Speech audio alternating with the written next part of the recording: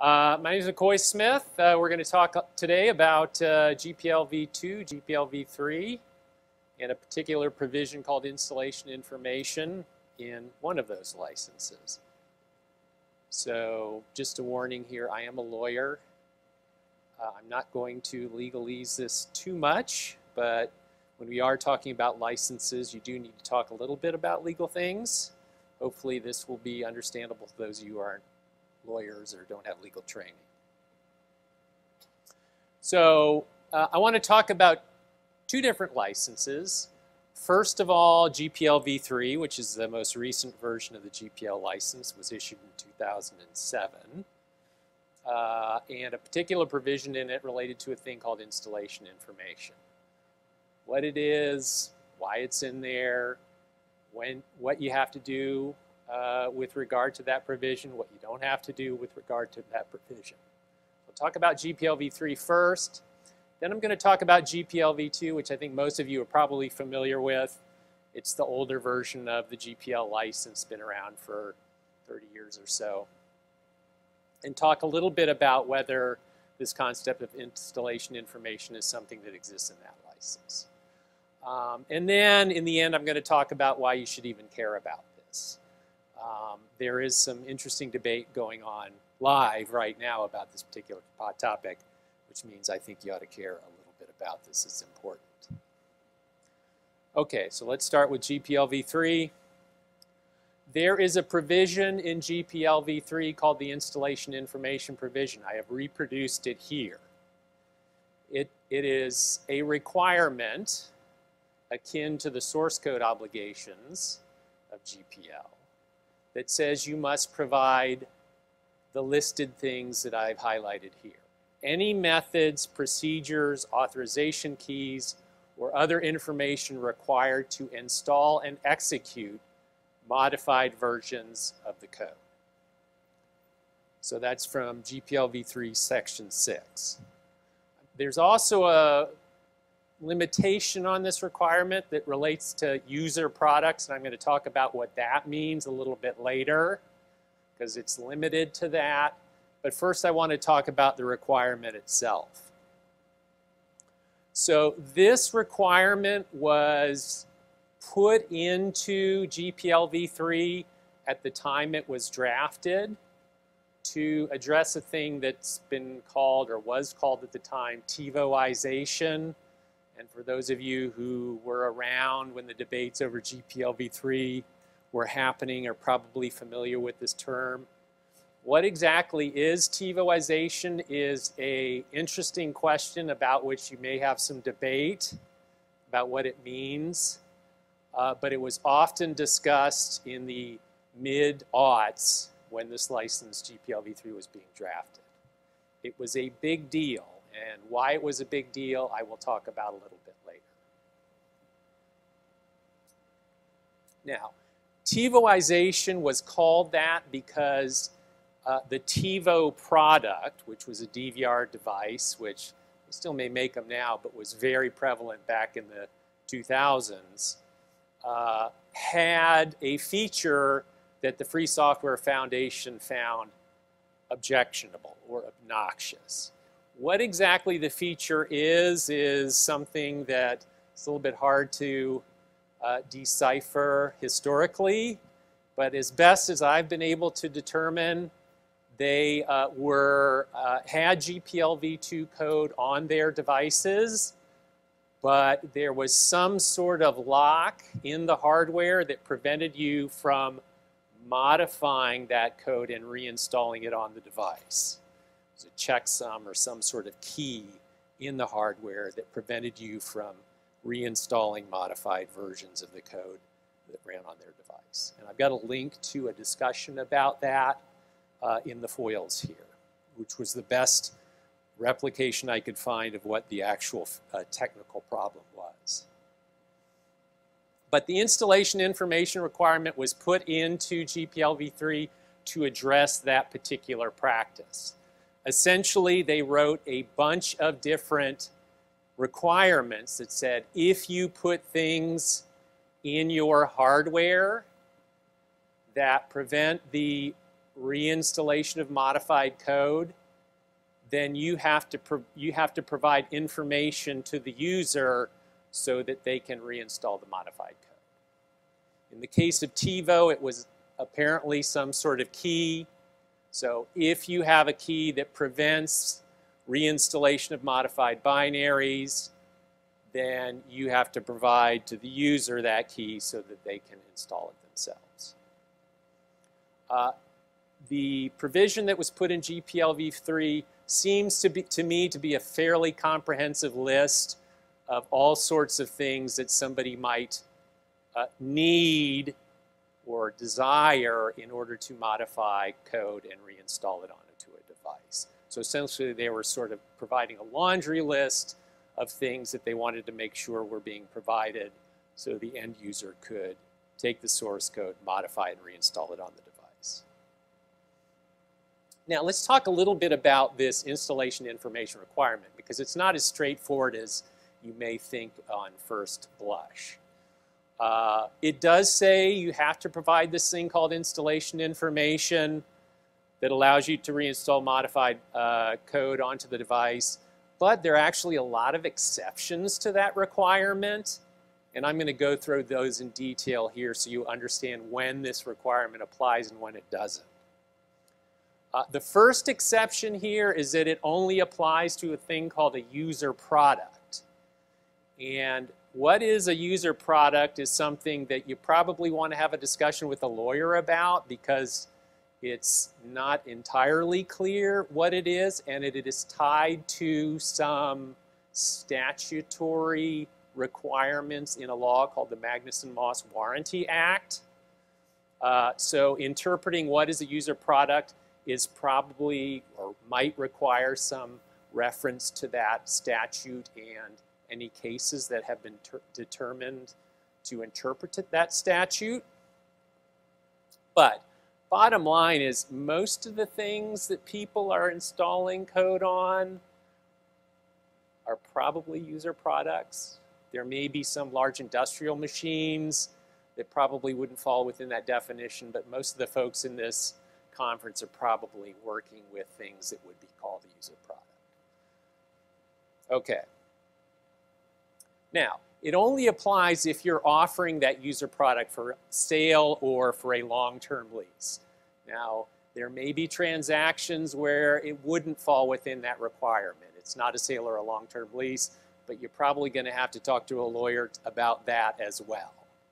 Um, so if you give it to somebody temporarily, maybe that's not a, a sale or a long-term lease and this installation information requirement does not apply. But again, you probably want to talk to a lawyer about that. And most transactions that you're going to do with user products, uh, you're probably going to have to provide the installation information for it under GPLv3. There's also an exception that says if nobody has the capacity to modify the code on the device, then you don't have to provide the installation information. So if you, as the product manufacturer, do not have any ability to modify code on the device yourself, then you don't have to enable the customer to be able to modify the code on the device. Now, in most cases, that's not going to apply because I think most product manufacturers want to be able to do updates of codes on their devices. And if that's the case, you have the, uh, the option modifying the code, you have to allow your users to have that option as well. There's also a couple of strange provisions in here that say, well, you have to give people the ability to uh, install modified binaries on their devices, but you can do other things to discourage them from doing that, like voiding the warranty that they have on the product, or by cutting off access to a network that they may get access to through their device, but only if it's potentially interfering. The, the modifications are interfering with that network. Again, these are provisions that are in there, but I'm not sure that it's something that a lot of companies are going to want to avail themselves of. So in most cases, they're probably going to have to provide the installation information. So what I've got here and what I've kind of put together for my own ease of understanding this is what I call the grand unified flow chart for deciding these things. So how do you decide whether you have to provide the installation information or not on a particular device? Well, if you go through this flow chart, it should give you the answer. Note the first yes-no question is whether the binaries are GPLv3 or not. If they're GPLv2, I'm going to talk about that a little bit later.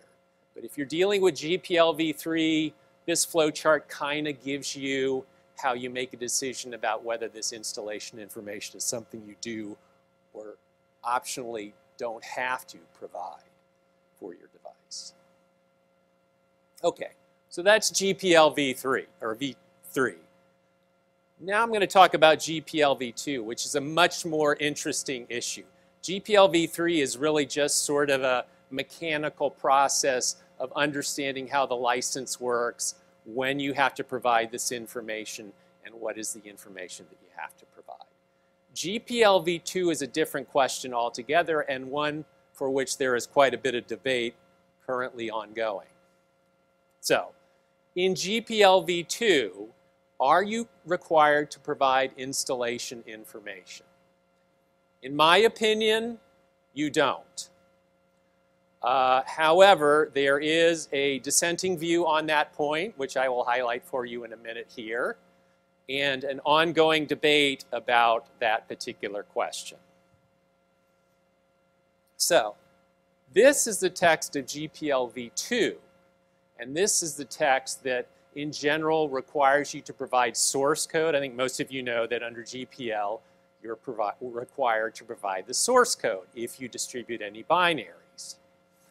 There is a provision in the section on source code that I've highlighted here that requires you to provide the scripts used to control compilation and installation of the executable. So there is some language in here about installation, but it's not quite as comprehensive as the language that we descri I described before in GPLv3. So there is a question here, which is, GPLv2 says you have to provide the scripts used to control compilation and installation of an executable. Is that the same thing as what GPLv3 requires, which is any methods procedures, authorization keys, or other information required to install and execute modified versions of a covered work. That's the kind of interesting debate that's going on right now on this question. Interestingly enough, if you go to the FAQs maintained by the Free Software Foundation, which I think most of you know, the Free Software Foundation is the entity that created. It says GPL v2 is different than GPL v3 with regard to installation information. It says GPL v2 doesn't use the term installation information. It does mention scripts. And then it says that requirement to provide scripts is part of, but not all of, what is installation information under GPLv2. GPLv, or excuse me, GPLv3. GPLv3's requirement about installation information is stronger. So, I think you have to read this statement by the Free Software Foundation that GPLv2 has a, requires a subset of the information that's called installation information in GPLv3. So you have this big category of information GPLv3 says you have to provide. GPLv2 has a subset of that information that you have to provide, but not all of it. And that's, of course, coming from the website that the Free Software Foundation maintains. Now, GPLv2 does require you to provide scripts so that is a specific requirement in GPLv2. What is a script? Now, I'm sure many of you are familiar with scripts because you work in programming. Uh, I pulled out here a dictionary, a technical dictionary definition of a script, which is something that I think would be potentially useful if you ever got into a debate about what GPLv2 required you to provide. So in this technical definition, a script in computing is a list of commands executed by a program or scripting engine to automate a process. I think that's probably a generally well understood and accurate definition of what a script is in computing. So GPLv3 has all these other things, methods, procedures, authorization keys, or other information. I think if you look at GPLv3, you'd probably say, well, methods or pr procedures as required in GPLv3 probably defines things that might include a script, but probably include other things beyond scripts, but that an authorization key or other information as required in GPLv3 probably doesn't include a script. So GPLv3 is much broader in its application than GPLv2, and I don't think one can interpret the use of the term script in GPLv2 to encompass an authorization key. That's, in my opinion, I think probably just data and not necessarily a script as required in GPLv2. Okay, so that's sort of a fairly shorthand but detailed explanation of a interesting analytical problem that GPLv2 provides as it relates to what GPLv3 clearly requires. Why does this all matter? Well, it matters because some people, for whatever reason, don't want to give installation information to their customers.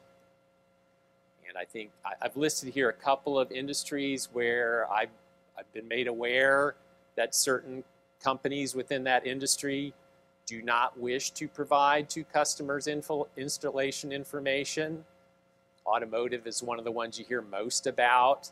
Uh, telecom is another one where you often hear that they're providing locked down code they don't want to have uh, their customers have the ability to modify it. I think you're also seeing it possibly in biomed and embedded or IoT where they're saying, I'm, I'm, more than happy to give you the source code, but I don't want you modifying that source code and reinstalling it on my device. So some of these industries have actually put in place policies that say, if we're going to install code on our devices, it shouldn't be GPLv3 because GPLv3 is going to require us to provide this installation information and we don't want to do that with our device.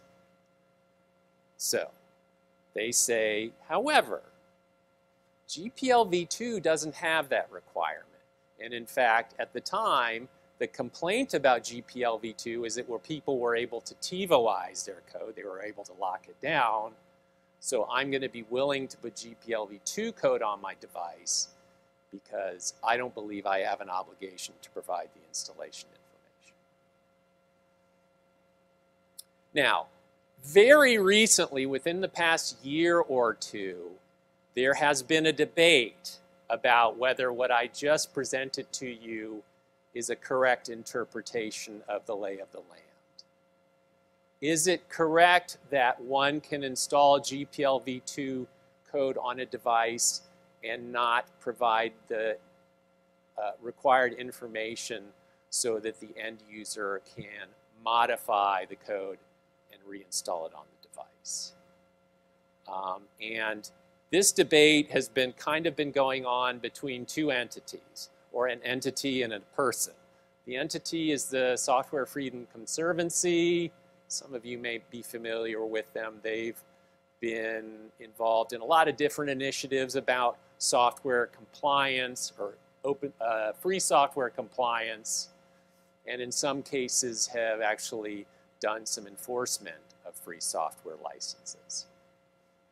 So in March of this year, they put out an article, which I've snapshotted here, and which if you want to read it, you can go to their site, softwarefreedom.org, where they, they put out a position that essentially says, although I will let you read it to make sure you understand completely what they say, hey, if you're distributing GPLv2 code, you still have an obligation to provide the information necessary for somebody to modify and reinstall that GPL2 code device that it's shipped with.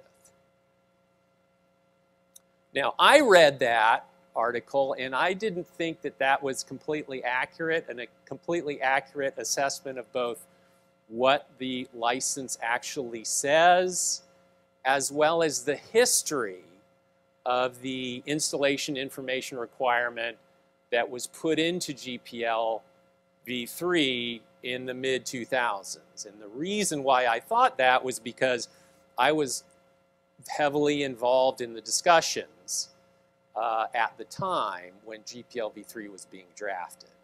And I recall debating quite a bit with representatives of the Free Software Foundation about that particular provision, what it meant, what the exceptions to it were, and why it was being put in there in the first place. So I wrote an article in this uh, journal called Journal of Open Law, Technology, and Society, in which I came in with a contrary view to the view that the Software Freedom Conservancy has about this particular topic. And if you read the article, it essentially says, you know, GPLv3 and GPLv2 have quite different requirements for things like keys or installation information. Here is both the text of the licenses as well as the history of the discussion around GPLv3, which I think uh, shows that they're quite different and there are reasons why they are quite different. I won't go into a lot of details with this because it's an extremely detailed article. It's got lots of footnotes and references to the history. If you're interested in legal authorship, feel free to read it. If not, get your lawyer to read it because they'll, they'll appreciate it more maybe than you would. So here's, I, boiled down on this slide essentially what I think the debate is. So in March of 2021, Software Freedom Conservancy, Conservancy was talking about GPLv2. And they were saying, you know, uh, if you get GPLv2 code, you have the absolute right to receive the information necessary to install a modified version of that work. And that includes scripts, interface definitions, and then they add in something that's not in the license, other material that is used to control compilation of an and installation of the binaries. I saw that and didn't think that I agreed with that position and thought that they were trying to read some stuff from GPLv3 into GPLv2. So I wrote the counter article and said, hey, that's not really consistent with what the, actual, the license actually requires, and it is certainly inconsistent with the history of the debate about TiVoization that happened in the 2000s. So that, that was kind of my response to them saying, I, I don't necessarily agree with the opinion that you expressed about how GPLv2 works. Well, they came back shortly after I published my article and came back with a sort of a counter article essentially saying, you know, I'm wrong and uh, this is exactly how this should be interpreted and here's our interpretation of the history at the time and here's our interpretation of what TiVo did and what TiVoization is. Again, if you're interested in this debate and you want to read these articles, they're available on the Free so uh, Software Freedom Conservancy website. I'd encourage you, if this is a topic that interests you, to read them all. Read the two articles from Software Freedom Conservancy, read the article that I wrote in this journal called JOLTS, see what you think. Or better yet, turn it over to your lawyer and think what your lawyer thinks because it's, it's a lot of debate about legal issues and license interpretation. Okay, why is this important or why are we having this debate now? Well, it's interesting because the installation information requirement that was put into GPL v3 in the mid-2000s was a pretty controversial measure. There was a lot of press about this particular provision. Uh, a lot of people expressing different opinions about whether it was or was not a good idea. The most interesting discussion really related to the Linux kernel and a debate about whether putting this requirement into GPLv3 would or would not encourage uh, relicensing or a change of license on the kernel from GPLv2 only to GPLv3. In the end, I think most of people here know that the, GP, or the Linux kernel has remained under the same license throughout, GPLv2 only. It did not convert to GPLv3. I think this was one of the factors at the time as to why it didn't was a lot of concern about this installation information requirement and what it would mean for the kernel. And I, I include here a quote from Linus from the time that uh, there was a debate going on about GPLv3 and the TiVoization clause, or the, what became the installation information, information clause. And he basically said, well, he said a lot of things at the time about this. Most of them were relatively uh, unenthusiastic about this info, installation information requirement. But essentially said, you know, that's really a hardware issue. If you've got lockdown hardware, that may or may not be good. Uh, and if you don't like lockdown hardware where you can't modify the code on it, maybe you don't want to buy that hardware. But there may be circumstances where lockdown hardware makes sense and you wouldn't want to prohibit that in every circumstance. I think that's a distillation of what he was saying at the time. He said some other things as well, which are discussed in my article. But that was kind of one of the big debates that was being had about this insulation information requirement. Now, um, there was a period of time before this year, before 2020, where there was some messaging being put out to a couple of different interest industries, particularly the automotive industry, which, as I said, has been sort of reluctant to adopt GPLv3 because they don't like this installation information requirement there was some messaging being put out that said, yeah, you can live with this GPLv3. The installation information requirement is not something that should ca cause concerns for you. And you can work around it and still address concerns that you have about things like safety, etc. I don't know that that has got a lot of traction. I'm not sure that the, the automotive industry has decided that it would be a good idea to take away their uh, concerns about GPLv3 code in their products. And for the most part, I think GPLv3 has not made its way into a lot of automotive applications. And this was kind of a problem that was foreseen at the time GPLv3 was being drafted. There were a lot of people, including I think Linus, who was telling the Free Software Foundation, you know, if you're going to come up with a, good, a new license, it's a good thing, but this installation information thing is not a good thing and probably ought, ought not be in there. Uh, he said that publicly in a couple of different places. There were a lot of people, or there were some people, that were debating privately with the Free Software Foundation that this was a bad idea and it would, in fact, the installation information requirement was going to impede the adoption of GPLv3 as a license because a lot of people were going to say, I don't really want to have to uh, uh, require people to give away keys. There may be circumstances where the, the code to be locked down. So that was sort of the debate at the time.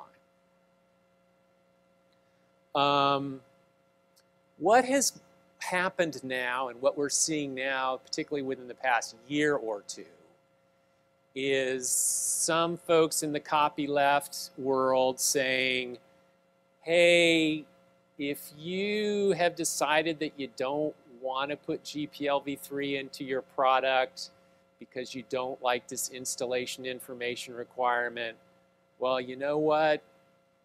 That's a requirement in GPLv2 also. So you are going to have to do exactly what you don't want to do if you're going to install GPLv2 code on your device. Essentially saying you've banned, you banned GPLv3 from your products. Well, guess what?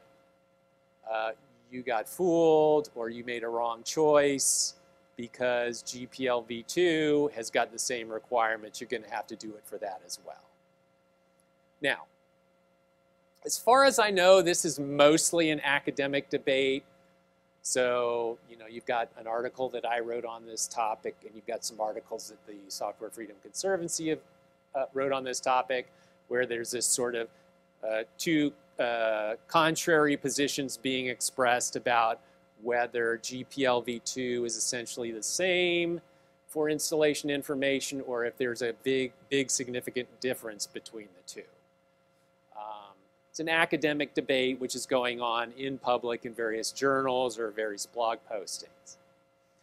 Um, certainly, if this is an, in, uh, an issue that's important to wherever you work or whatever project you worked on, you work on, it would be it would behoove you to understand what the debate is about, because um, certainly it would be behoove you to understand how GPL's install, GPL v3's installation information requirement applies.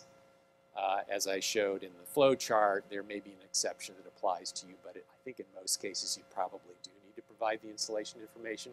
But if you're using GPL v2, you need to understand that there are some people coming around and saying GPLv2, GPLv3, it doesn't make a difference. You can't lock it down. Is this a precursor to something else? I don't know. But I can imagine a time will come when somebody is going to say, I have GPLv2 code. You are using it in your product here is a uh, blog posting that says that you're required to provide uh, all information necessary to allow your customers to modify and reinstall that code. And I'm going to insist as the author of that code that you do so. When that happens, you, you may find yourself in a bit of a dilemma because you may have assumed that you didn't have to do that, and in fact, the two licenses were different. Yet here you have a, an author of some some GPLv2 code saying, I, I take a contrary view. I've got somebody who's writing that says that my contrary view is correct, and I'm going to demand that you treat G, the GPL2 code on your device exactly the way that you would have to have done with GPLv3, even though you specifically excluded GPLv3 from your products. Is that going to come to a head at some point? Will it become a real problem for companies? I don't know, but you should be aware that that the debate that's going on may in fact result into in, in actual uh, claims that one needs to do something that one previously thought that didn't have to. Okay, so that's GPLv2, GPLv3, and the debate that's currently going on about those two licenses. If it interests you, read the literature, talk to your lawyer, see what you think is the most persuasive case, or which, which of the positions you think uh, makes more sense in view of what the licenses say and what the history of the development of the licenses was. There's a final plot twist that I want to mention here, which is some of you may be aware that uh, the Biden administration put out an executive order over the summer on um, uh, right to repair, which has been an ongoing debate in a couple of different industries, mostly in the farm equipment industry for a number of years, where people are saying, you know, I'm not able to make repairs on the device because uh, a device that I have purchased because the manufacturer is, has put impediments in front of that. And the Biden administration, having heard those complaints, put out an executive order and said that the FTC ought to look into whether there ought to be rights to repair for consumers for devices or products that they purchase. Now, does this apply to this question about GPL v2? I don't know. I think it's probably a little bit more intended to be focused on particular industries like agricultural equipment. But there could come a time when somebody goes to the FTC and says, you know, the right of repair ought to include the right to modify and re reinstall any open source code on a device, and therefore any technical impediments that prevent me from doing that uh, uh, takes away my right to repair, and the FTC should look into it. Now, will they? I don't think so, but this may become part of the debate. So be aware that even though there's these two academic papers or these two discussions that are going on, there's like a third player up here, which is the U.S. government, which may have ultimate sway on this particular. Okay, so that's all I've got on this topic. Uh, I went pretty fast and quick through it all. It was fairly dense in terms of all the material and talking about license provisions. Uh, I hope that gives you an understanding of what the question is and what the debate ongoing is now. So I have some time for some questions, a few minutes. Um, any questions on this? Yes.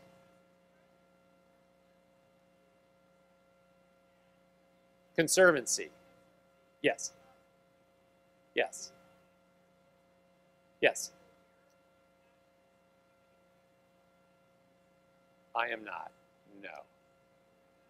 I, I, I don't think so. Well, Here's the thing with uh, the thing with um, open source enforcement, which a lot of people don't realize, is about 95% of it happens under the under under the table, not, not not like in a sneaky way, but you know you see oh some, somebody sued somebody for a GPL violation. That's one out of a hundred cases. What really happens in most cases is somebody like the Software Freedom Conservancy or somebody else will go to the person and say to them privately, I think you're doing something incorrect. You're not following the license. And I would like you to correct that. Let's figure out a way to do that. And I think in a lot of cases, there's a, there's a discussion that happens and that gets corrected and there's no lawsuit that gets filed. So whether or not Software Freedom Conservancy or anybody else has ever gone to an entity and say, you can't lock down this GPL v2 code, I do not know, but it's possible. There, as far as I know, there's not been any lawsuits. Yeah.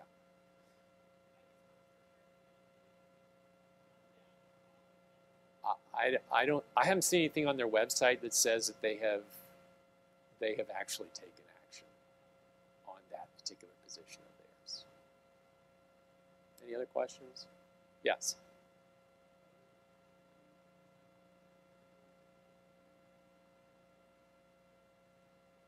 Uh, he's dissenting from me.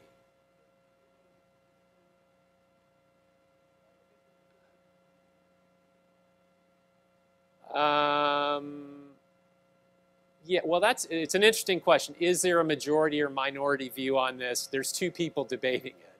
You know, what everybody else thinks about this, you know, I don't know. uh, I tend to think that probably the folks who are locking down GPL v2 code would be more uh, more on my side of the debate now, but that's you know a small subset of people. Is for example, the interesting question is, you know, the kernel community. Where do they come down on this? Now, I, am pretty sure the kernel community had a lot of different opinions on GPL v3 at the time it was being drafted. There were a lot of people that said, eh, I kind of like it. There are a lot of people who said, I don't like it. You know, if you were to poll them and see which one was the majority or minority, I don't know. I don't know what would it be. So, yeah, I, I, I don't mean to say, by saying dissent means there anybody's in the minority or majority because I don't know. It's right now it's just two people or one entity and one person having a debate about a particular question. Yes.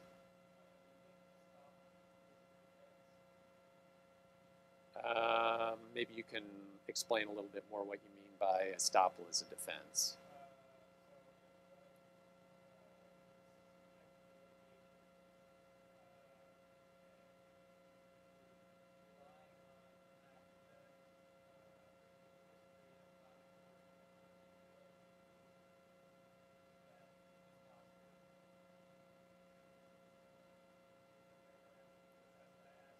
So, yeah. So, so the question was, I'm supposed to be repeating these questions. I didn't do it for the first couple of questions. Uh, would estoppel be a defense in this case? Estoppel is a legal doctrine that says, essentially says, you know, if if you didn't take action on a particular thing for a long period of time, you may not be able to do it in the future. A little bit like a statute of limitations kind of thing, but different. Uh, I suspect that that would be a defense that would be raised, but you, lawyers raise pretty much every defense they can, right? We're trying to get the client out of the problem. So yeah, somebody would raise estoppel. Would that be a dispositive defense? Probably not. Um, I mean, I think the debate would really be focused on what the actual language in the license says. And there might be some uh, focus on what was said about the interpretation of the two licenses, like the thing that the Free Software Foundation has said about that. I think those would be probably more persuasive to a judge than just saying, well, you know, nobody enforced this for however many years. But it certainly would be something I suspect the the defense lawyers would raise as a potential defense, yes. Any other questions? Yes.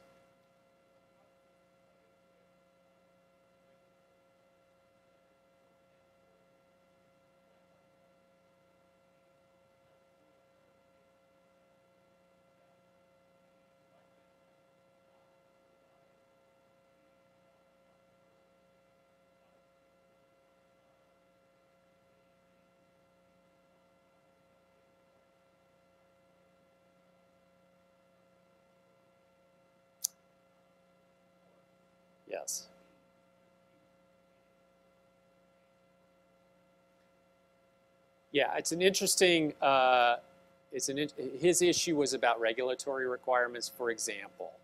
Radios, the FCC says you can't operate, if you, if you sell a radio, it's got to operate within certain power and, and bandwidth parameters, and you can't, you can't have it operating outside of that. Would this come in, would this potentially come into play? I think, you know, I think if you review what the Free Software Foundation and other people say about this, they'd say, well, you have to comply with whatever laws exist wherever you are, uh, even if the license maybe allows you to do that. So even if you get the source code and it says, and you are, have the ability to up the power or change the bandwidth, if the FCC you can't, says you can't do that, you can't do that. Now, how that comes into the product manufacturer is an interesting question. I, I you know, I thought about, I, I remember thinking about this many years ago, and I think the FCC had some wiggle room on that, but it could very well, it could very well be that you decide to say, I'm not going to put at, least GPLv3 in my radio because somebody's going to be able to up the power now, are they going to say, am I going to put GPLv2 because I can lock it down and they can't? Well, I think they might, unless somebody comes to them and says GPLv2 requires you to allow them to be able to adjust the power and bandwidth requirements as well. Then we get into this interesting debate about what's the interpretation of the license. Now, would the FCC say GPLv2 3 is bad, GPLv2 is okay? I don't know that they would get into that, but it's an interesting question.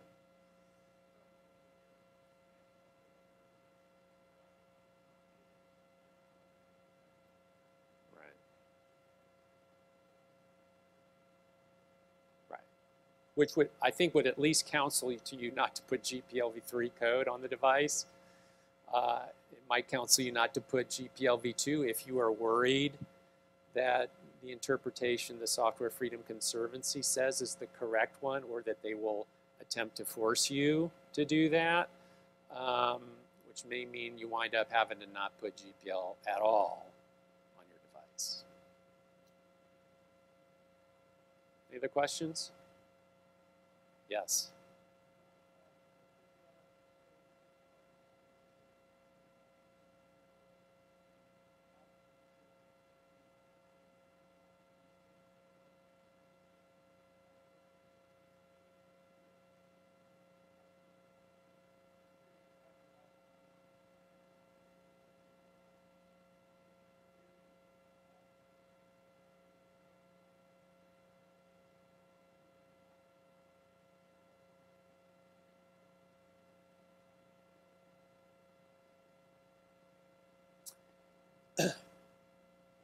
Yeah, it's an interesting question. Um, so the kernel commitment basically said we as the authors of the kernel, or we as important authors of the kernel, despite the fact that uh, GPLv2 has some fairly harsh termination language, we're going to not enforce that.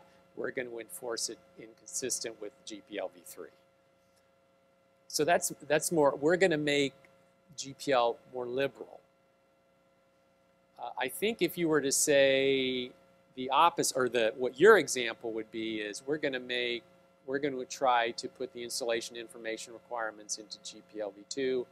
I think you're making it more conservative.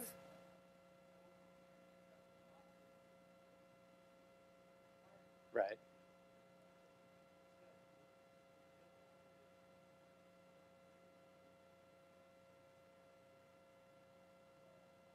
Yeah. So, so yeah, you know, that's something they could do. They could say, we hereby say that we reject the Software Freedom Conservancy interpretation and we adopt the McCoy-Smith interpretation as being the canonical interpretation of this license. I think they could do that. Whether they would or not, I don't know, because I don't, you know, I don't know whether you could get a consensus on that. It's a little bit ambiguous to me on how the kernel feels about this particular thing. I think a lot of them don't like this installation information requirement, but I'm not sure how strong they are about it, that they would put out such a statement.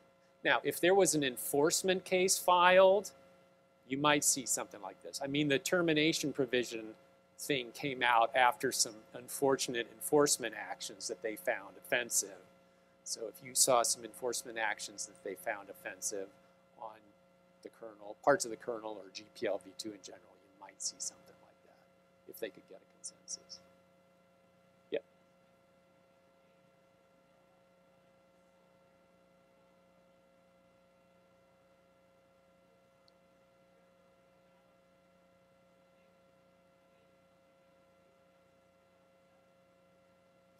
Yes.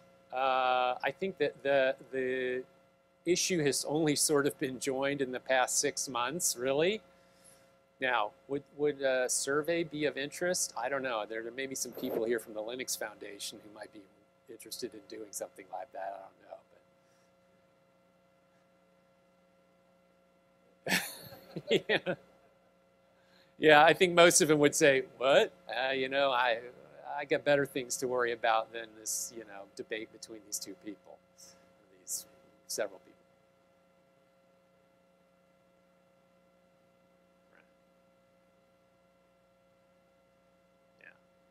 I think I think I think you probably wouldn't get a lot of response to that survey unless there were an enforcement action where they said, uh-oh, you know, they're now saying that the kernel has to be non-lockdownable.